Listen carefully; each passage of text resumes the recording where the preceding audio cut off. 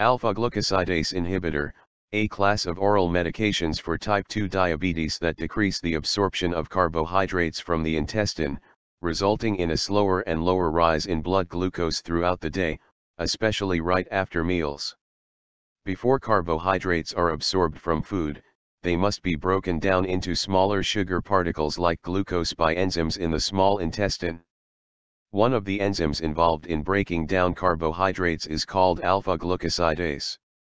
By inhibiting this enzyme, carbohydrates are not broken down as efficiently and glucose absorption is delayed. The alpha-glucosidase inhibitors include Precose, Acarbose, and Glyset, Miglitol.